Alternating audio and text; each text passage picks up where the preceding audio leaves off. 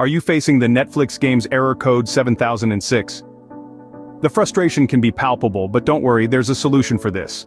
Netflix has identified error code 7006 as a temporary sign-in issue, which prevents the game from successfully connecting to your Netflix account.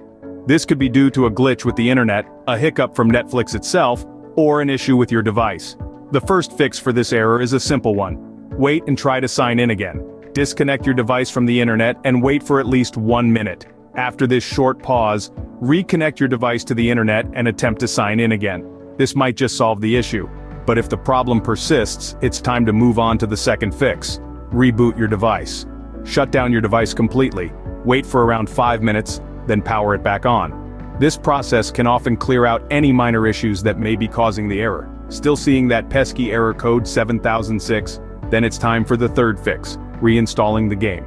Uninstall the game from your device, then reinstall it.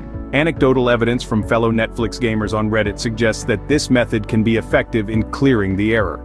If all of these methods fail to resolve the issue, the final step is to report the problem to the Netflix support team. They're there to help and can provide further assistance. So, to summarize, if you're facing the Netflix game's error code 7006, try these four steps.